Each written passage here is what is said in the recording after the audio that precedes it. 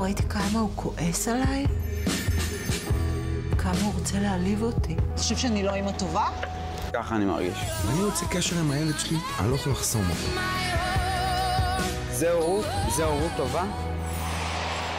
אני נורא רוצה לבקש סליחה, באמת. שש אמהות,